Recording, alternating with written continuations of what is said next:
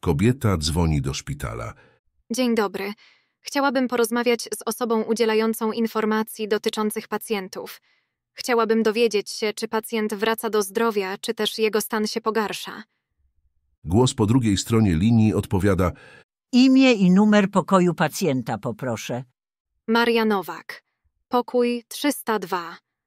Łączę na oddział. Proszę czekać. Po chwili odbiera pielęgniarka. Kardiologia, słucham. Dzień dobry. Chciałabym poznać stan zdrowia Marii Nowak. Pokój 302. Pielęgniarka sięga po teczkę i odpowiada. Chwila. Niech spojrzę na jej dokumentację. Tak, mam tutaj wszystko.